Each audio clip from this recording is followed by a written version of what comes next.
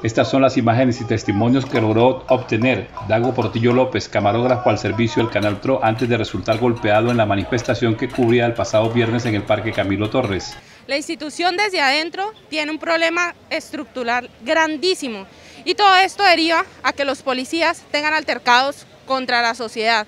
Recordemos que ellos son servidores públicos, o sea, ellos les pagan de nuestros impuestos. Ellos están para servirnos a nosotros, no nosotros para servirlos a ellos. Y a ellos en la institución como tal no se les ha recalcado este tipo de, principios. Y yo creo que ese es el, el principal problema.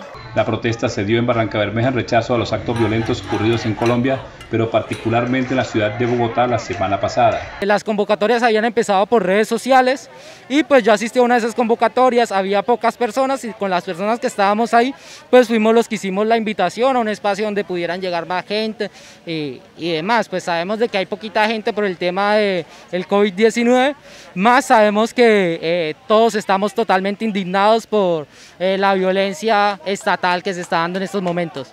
Enlace Noticias consultó a la Policía Nacional cuál fue su actuación durante esta protesta en la que resultó golpeado el camarógrafo. Con el fin de garantizar la protesta social y pacífica, el Comando de Policía del Magdalena Medio dispuso un servicio diferencial de 15 mujeres policías sin armamento para garantizar el acompañamiento a este evento.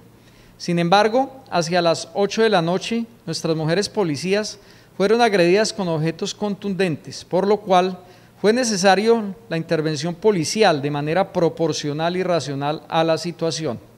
Este procedimiento fue acompañado por los entes de control, Defensoría del Pueblo y Secretaría de Gobierno Distrital. Los manifestantes el viernes en la noche en el Parque Camilo Torres aseguran que la agresión contra el camarógrafo Portillo López provino de la fuerza pública.